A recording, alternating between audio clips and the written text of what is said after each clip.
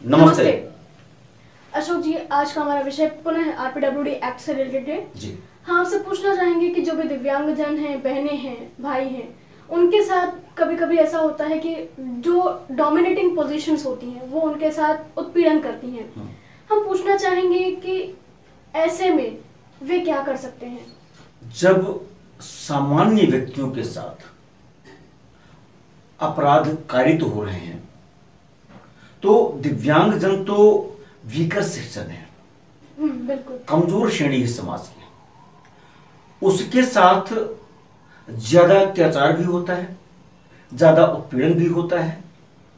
परंतु जिस तरह से जो महिलाएँ हैं वे चाहे शर्मवश लज्जावश मर्यादावश या जिन संस्कारों पली हैं उसके अधीन रहते हुए उत्पीड़न होता है इसके बावजूद अपनी ज़ुबान बंद रखती है नहीं कहती हैं। परंतु गांधी जी ने कहा था अत्याचार सहना भी पाप है। हमको आवाज़ उठानी ही पड़ेगी। अब यहाँ पहले समझना पड़ेगा डोमिनेटिंग पोजीशन में कौन है? हाँ। जो आरपीडब्ल्यूडी एक्ट की सेक्शन 92 डी वो यह कहती है कि being in a position to dominate the will of a child और a woman with disability and uses his position to exploit sexual आपने डोमिनेट वर्ड यूज़ किया शुरू में। डोमिनेट क्या है? डोमिनेट का अर्थ यह होता है कि ऐसा व्यक्ति जो अगले की इच्छा को प्रभावित करने में समर्थ है।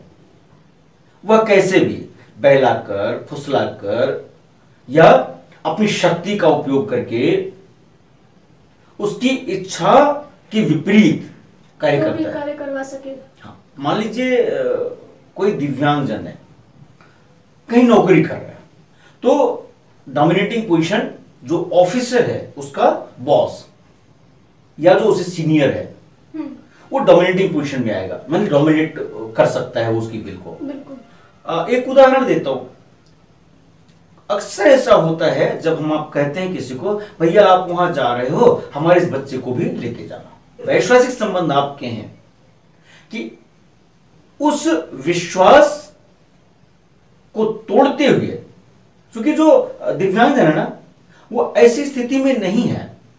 कि वह उसका विरोध कर सके। हम्म, तो ऐसे जो नियर एंड डियर हैं नजदीकी रिश्तेदार हैं या घर के भी लोग उसमें शामिल हो सकते हैं यद्यपि यह अपवाद ही होता है कि घर के लोग शामिल हो परंतु फिर भी। तो ऐसे लोग डोमिनेटिंग पोजीशन में होते हैं। आपसे अनुरोध रहेगा कि कृपया इस चैनल को सब्सक्राइब कीजिए अगर आपने अब तक नहीं किया है। साथ ही नोटिफिकेशन बेल ज़रूर दबाइएगा। आपसे ये भी अनुरोध रहेगा कि आप वीडियो को लाइक करें शेयर करें और साथ ही कमेंट बॉक्स में बताएँ कि आपको ये वीडियो कैसी लगी। धन्यवाद।